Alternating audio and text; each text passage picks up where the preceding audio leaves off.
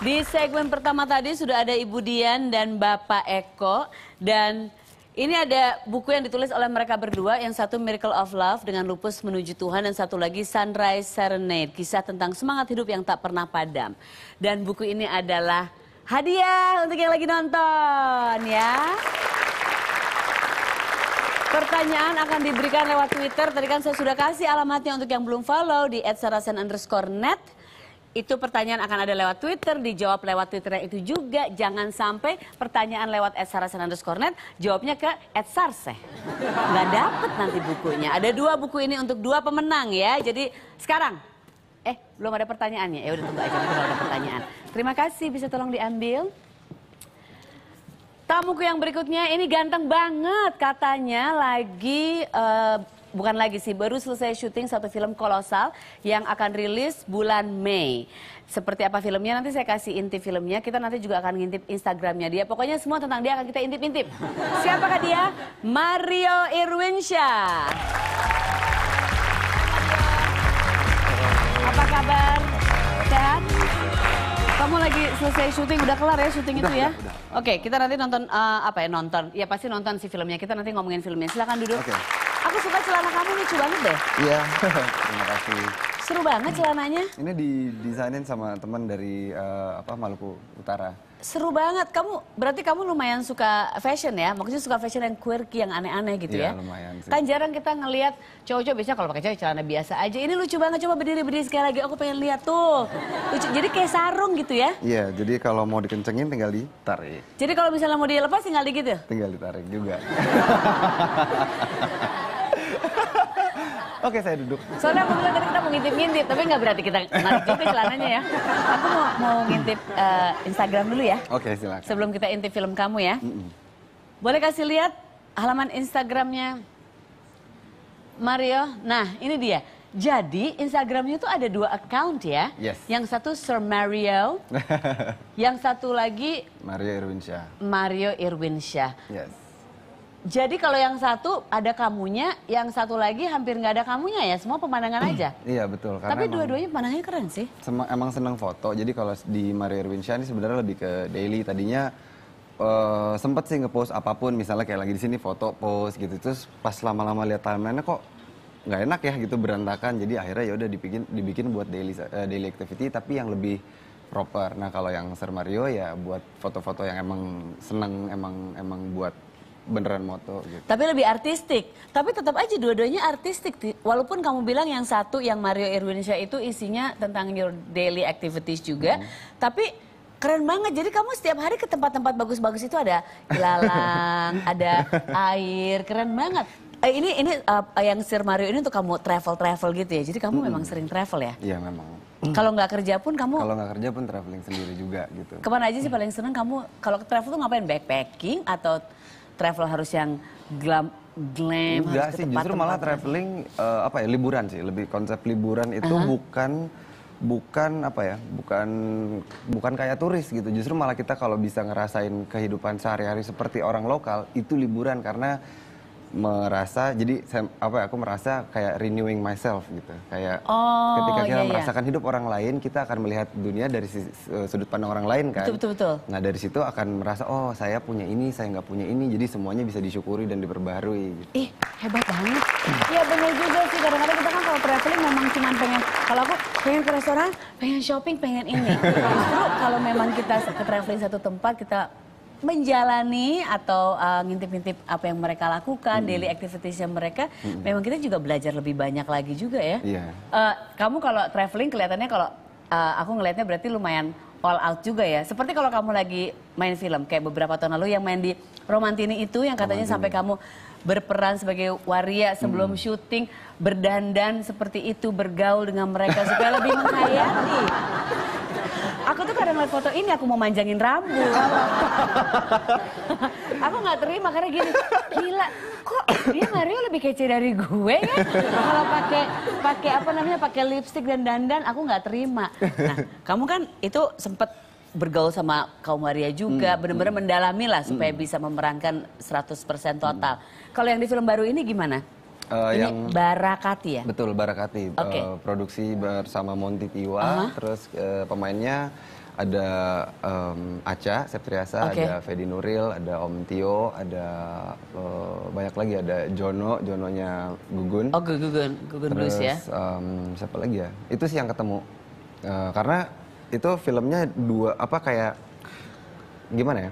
Eh, seperti film kayak sejarah tapi tapi dilakukan sekarang tapi ada flashbacknya gitu. Jadi eh, dua dua era. Dua era, oke. Mm, dan kita Jadi it's a, it's a period movie tapi dua dua period gitu ya Mm, dan diambil. itu menceritakan tentang Gajah Mada di mana nah itu dia pas di mana eh, Fedi dan Aca itu di masa kekinian dia tuh kayak apa ya orang yang senang-senang sejarah gitu dia Mm-hmm. mempelajari tentang Gajah Mada dan di sini aku perannya jadi Hayam Wuruk. Apa yang kamu lakukan untuk mendalami peran ini selain pasti research, baca juga. Mm, eh, kalau tapi kalau buat Hayam Wuruk sih nggak nggak terlalu banyak referensi ya. Jadi kita cuma belajar dari eh, kayak babat tanah Jawa atau apa ya literatur aja semuanya gitu. Dari, Kebanyakan eh, tulisan. bacaan Jadi ya. akhirnya kita lebih ke create. Tapi untungnya emang Oh.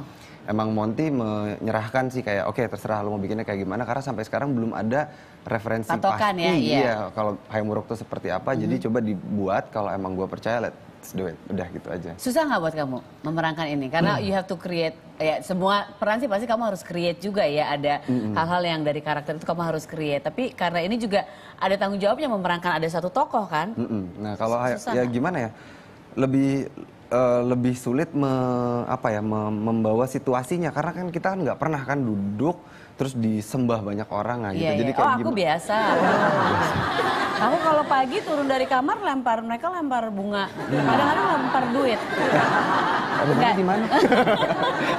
iya iya jadi maksudnya uh, apa namanya keseharian kan gitu. keseharian, keseharian hayam muruk yang bisa Iya, di iya, apa ya dia mungkin kayak misalnya udah ini cuman gini doang udah mati kali itu orang gitu nah itu gimana cara membiasakan itu lebih ke situ sih rasanya cuman kan memang yang ditunjukin di sini tidak bagaimana kesehariannya hayam muruk tapi bagaimana keakraban hayam muruk dengan gajah Relationship- mada relationship-nya di situ ya. jadi akhirnya dan waktu itu gajah madanya om Tio jadi ya udah tinggal Ah, kan dia asik banget asik nggak uh, kerja sama sama dia Asik sih asik emang uh, apa Iya. ya? Oh tapi di situ aku bisa nih aku punya joke sama teman-teman oke, Barakati. oke.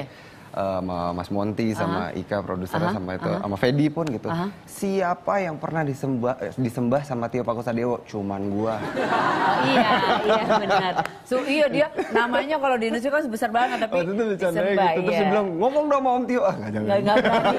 Kita lihat yuk seperti apa sih sudah ada nih teasernya Teasernya sedikit. Ini kan akan rilis di bulan Mei, bener nggak tadi aku mm-mm. bilang? Pertengahan, pertengahan ya. Oke, oh pas banget sih Mei itu ada film keren, ada ulang tahun pembawa acara keren. Jadi Mei itu memang bulan yang patut ditunggu-tunggu ya. banget. Oke kita kita lihat langsung ya.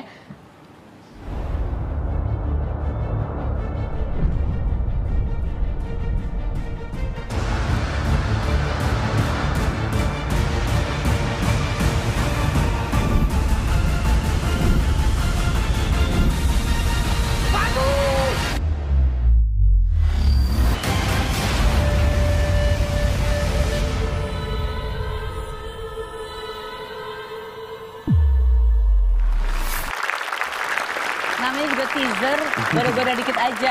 Tapi ini baru sekarang ya Monty Tiwa atau Muvesa bikin film kayak gini. Biasanya kan dia bikin lebih ke komedi Iya, atau drama drama. gitu. Ya ini juga ini drama tapi kolosal and it's kinda heavy karena ada sejarahnya ya. Mm-mm, Emang Monty juga baru pertama kali nih dia bilang kayak wah gila nih gue baru kali ini gue memprepare semuanya sampai gue udah yang kayak gue udah selesai belum sih gitu sampai sampai segitunya emang mereka betul-betul apa ya kayak Persiapannya ini dong berarti. lumayan panjang banget Jadi syutingnya kemarin lumayan lama juga. Eh, terhitung lama untuk produksinya Monty itu terhitung lama Terus lama. Ih hebat, kita tunggu filmnya.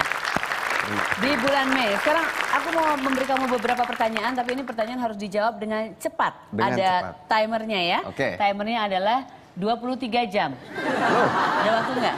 ada lumayan Ah, abis ini memang lagi mau ada syuting apa? Sekarang lagi setelah ini lagi nunggu rilis? Ada Em, project lagi? ada satu lagi sih Film? Film. Oke, siap-siap. Dimulai sekarang. Hmm. Selain gadget, barang apa yang wajib dibawa ketika traveling?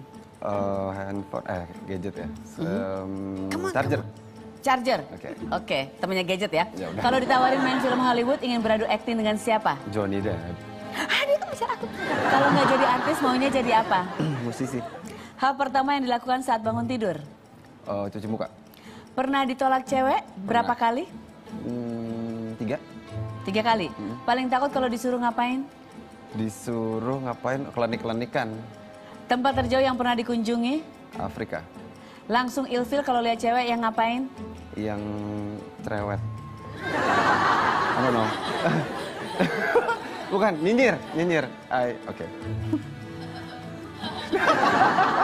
Berapa berat badan saat ini? 69. Kebiasaan buruk yang nggak bisa hilang sehingga saat ini? Garuk-garuk tempat umum. Oh kan. Aku juga. Foto dulu coba muka paling cakep yang kamu miliki. Muka paling cakep, muka cuma satu ekspresi maksudnya. Seperti ekspresi ini, ini kece banget nih. Ini kaos paling oke banget. Dipakai ya kalau lagi jalan-jalan dan nanti jangan lupa masukin ke Instagram kamu dong. Oh, oke, oke. ya. I will. Ke I will tag you later. Oke, thank you so much Mario. Sukses untuk kamu. Terima kasih. Kita tunggu filmnya Barakati keluar di bulan Mei ya. Jangan ke mana-mana karena masih ada tamuku yang lain, masih ada Rangga Mula. Habis ini tetap di sini.